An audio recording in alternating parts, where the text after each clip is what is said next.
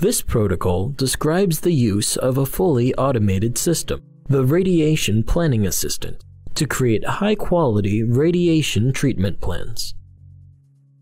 So the Radiation Planning Assistant, or RPA, can improve treatment planning workflow, should be especially useful for clinics that have limited resources. The RPA also automates most of the contouring process.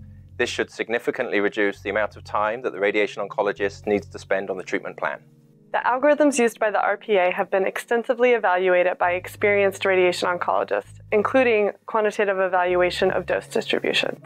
Many parts of the RPA, including contouring of normal tissue for head and neck plans, are now in routine use in our clinical practice. I am also using the automatic field creation for cervical cancer in my daily practice.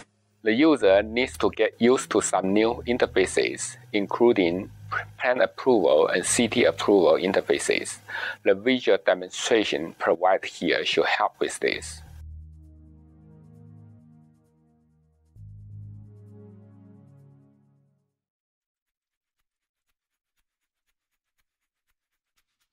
Open the Plan Order workspace using the standalone icon or from the Radiation Planning Assistant Control Center workspace.